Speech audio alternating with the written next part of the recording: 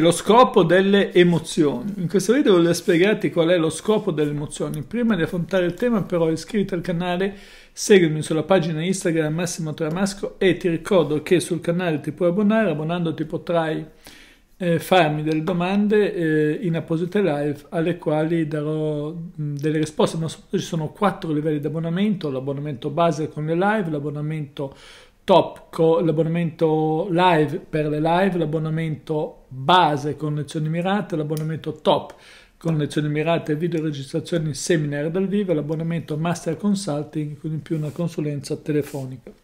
E adesso veniamo al tema, il tema delle emozioni. Qual è lo scopo delle emozioni? Tutti noi proviamo emozioni e, ehm, e qualcuno di noi sa gestirle, altri non sanno gestirle, quindi la vera abilità è quella di imparare a gestire le emozioni.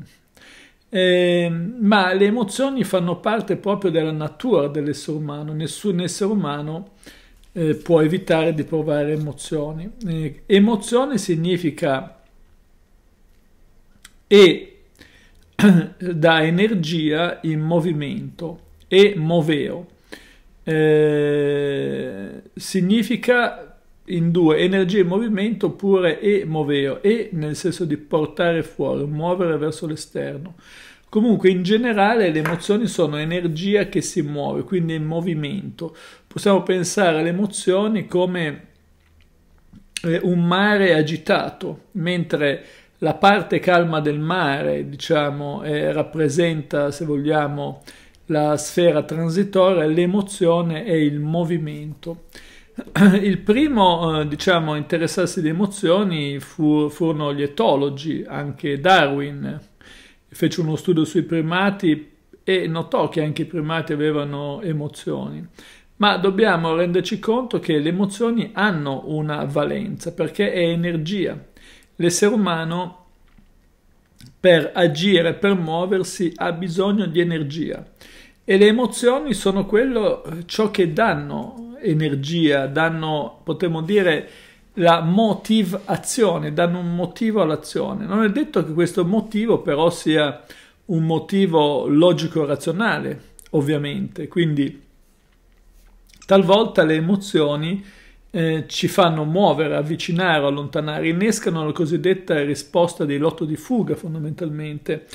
E ovviamente vi sono diversi tipi di emozioni eh, e le emozioni hanno anche un risvolto sulla sfera eh, comportamentale, ma soprattutto sul linguaggio non verbale.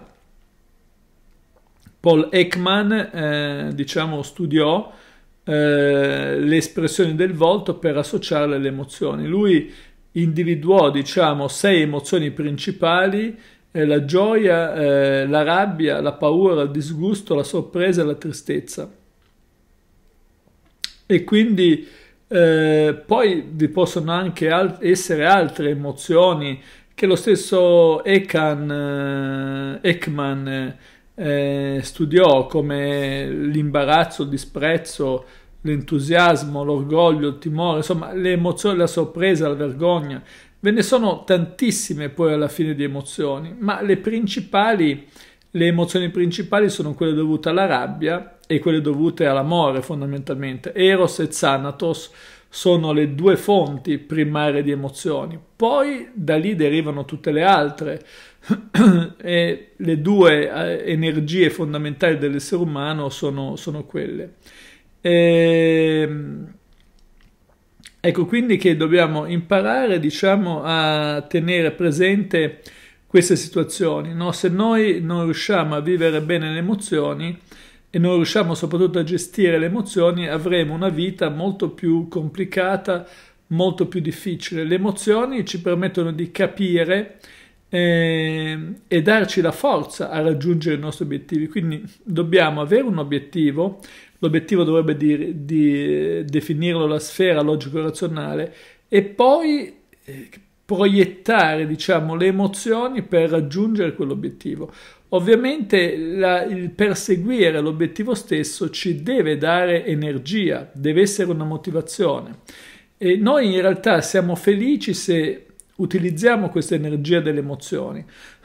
Quando le emozioni restano bloccate, invece, entriamo in una, in una situazione di sofferenza, ma anche quando eh, le emozioni agiscono da sole. Quindi il vero segreto è quello di percepire che abbiamo delle emozioni e dirottarle su un obiettivo, quindi è il fare che ci porta a stare bene, non è eh, non è, il, eh, è solamente il fare, solamente l'agire che ci porta a stare bene, che ci porta ad essere felici. Quindi tenere bloccate le emozioni è sbagliato, lasciare che le emozioni agiscano per i fatti loro è sbagliato pure. Quindi è importante che noi impariamo a gestire le emozioni.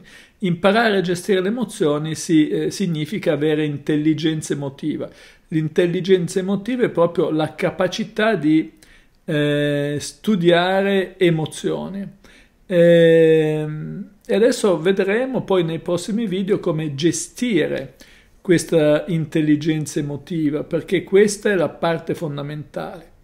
Però tieni presente che senza le emozioni non puoi vivere, quindi quando hai delle emozioni devi imparare a riconoscerle e a proiettarle, a fare qualcosa perché se no o imploderanno dentro di te generandoti un sintomo oppure ti terranno in una situazione molto molto negativa. Quindi agisci e vedrai che le cose andranno per il meglio. Bene, per questo video è tutto, se ti è piaciuto metti un like, iscriviti al canale e ti ricordo che sul canale ti puoi abbonare scegliendo tra quattro eh, livelli di abbonamento, abbonamento base, abbonamenti live per partecipare alle live, abbonamento base eh, con lezione mirata, abbonamento top con lezioni mirate e video registrazioni seminari dal vivo e abbonamento master consulting con in più una consulenza telefonica. Ciao a tutti!